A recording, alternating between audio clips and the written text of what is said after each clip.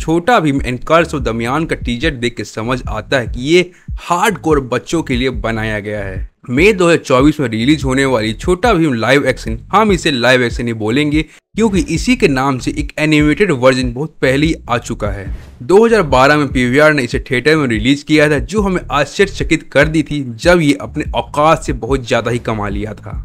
फिर उसी का सक्सेस देखते हुए एक और पार्ट लाया गया है राइज ऑफ़ दमियान जो पोगो टीवी पे रिलीज़ किया गया डायरेक्टली अब इसकी कहानी में टाइम ट्रेवलिंग है, जहाँ छोटा भीम, चुटकी, राजू, जग्गू, कालिया, ढोलू, भोलू टाइम ट्रेवल करके हज़ारों साल पहले पास्ट में जाते हैं सोनापुर पे, जिसमें ढोलकपुर के राजा इंद्र वर्मा उनकी मदद करेंगे पास्ट में जाने के लिए। जहाँ वो पास्ट में पहुँच के वहाँ के जादूगर से मिलते हैं अनुपम खैर से, जो गुरु शंभू हैं। इसके ऊपर उनको दमियान को हराने के लिए, उसे कैद करने के लिए बुक ऑफ़ मागी को हासिल करना होगा, जो कि 2012 में आने वाली छोटा भीम की रीमेक ही लग रही है, जहाँ उसमें भी सेम ही कहानी हुई थी। स्पॉयलर अलर्ट जिसको देखनी है, उसके लिए स्पॉयलर है अभी। तो होता कुछ ऐसा है कि बाय मिस्टेक राजा इंद्र वर्मा से पास्ट में दरमियान छूट गया एंड उसके साथ साथ ढोलकपुर खजान खत्म होने की भी स्टोरी चलेगी पैरेलली लेकिन इन सब में सबसे इम्पोर्टेंट है बुक ऑफ़ मागी जिसको हासिल करके दमियान को शांत किया जा सकता है एंड फिर अनुपम खैर अपने एवेंजर्स को पावर देंगे, जो एक्चुअली एनिमेटेड वर्जन जैसा ही है,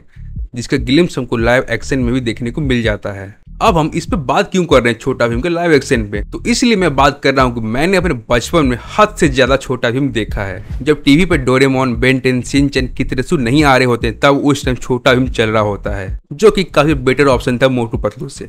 जहाँ मैंने इसे डाकू मंगल सिंह के साथ लड़ते हुए और साथ ही में किरमाडा को धूल चटाते हुए भी देखा है। लेकिन जैसे जैसे हम बड़े होते गए धीरे धीरे समझ आया ये एक नॉनसेंस से ज़्यादा कुछ नहीं है। हाँ मैं मानता हूँ छोटा फ़िल्म के कुछ एपिसोड्स कुछ मूवी काफ़ी बेटर थी, जैसे कि किरमाडा वाला। लेकिन कहीं ना कहीं छोटा भी पॉप कल्चर का बड़ा पार्ट भी रहा है जिसे हम नज़रअंदाज बिल्कुल नहीं कर सकते हैं। लेकिन बात वहीं आ जाती है क्वालिटी पे कि आज के दौर में भी इस तरह की क्वालिटी लेकिन करे तो करे क्या, इनकी भी मजबूरी है। भारत में हर मिनट कई सारे बच्चों का जन्म होता है, जो इनके लिए नए नए ऑडियंस की तरह काम आते हैं। तो इनको अपने कंटेंट शिफ्ट करने की ज़रूरत कभी पड़ी नहीं। लेकिन इसे डायरेक्ट थिएटर में रिलीज़ करना, वो मुझे समझ नहीं आया। क्या ये अपने कंटेंट पे इतना भरोसा रखते हैं? ये 2024 में बड़ी से बड़ी मूवी के कम्पीट कर पाएँगे। लेकिन मैं एक बार देखना चाहूँगा कि छोटा भीम थिएटर में देखने कैसा लगता है। अपने ओपिनियंस कमेंट में ज़रूर से बताना, कमियाँ निकाल के कुछ नहीं होगा।